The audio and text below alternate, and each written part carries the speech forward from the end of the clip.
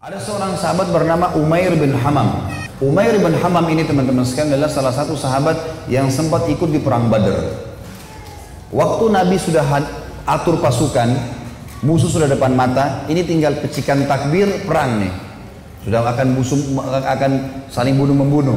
Lalu kata Nabi SAW dengan sabda yang masyhur dalam hadis Bukhari, demi Allah, tidak ada seorang pun dari kalian sekarang yang hadir di perang Badar ini di kancah peperangan ini terbunuh menghadapi musuh kecuali pasti masuk surga yang luasnya seluas langit dan bumi. Umair ini Ibn Humam kebetulan lagi pegang dua butir kurma di tangannya. Lalu dia bilang, "Bakin, bakin." Bakin itu indah sekali ya Rasulullah. Indah sekali. Ulangin ya Rasulullah. Kata Nabi SAW, demi zat yang ubun-ubunku dalam agama maksudnya demi Allah, tidak ada seorang pun dari kalian di sini yang terbunuh di kancah peperangan sekarang ini.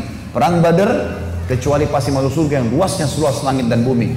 Umar mengatakan, bakin, bakin, dengan semangat dia. Maka kata Nabi, kata Nabi SAW, kata, kata Nabi, kenapa Umar? Kenapa kau bilang bakin, bakin? Maksudnya indah sekali ya Rasulullah. Kata Umar, ya Rasulullah, aku tinggal masuk ke medan perang ini. Dibunuh oleh mereka orang-orang kafir ini. Masuk surga? Tanpa hisap seluas langit dan bumi? Kata Nabi SAW iya. Kata Umair itulah sebabnya saya mengatakan bakin ya Rasulullah. Saya akan kejar tuh. Baik. Umair ini rupanya dia manggil kurma dia kunyah nih. Sudah mulai pecikan Allahu Akbar sudah mau saling nyerang nih. Umair makan dulu kurmanya ada dua butir kurma.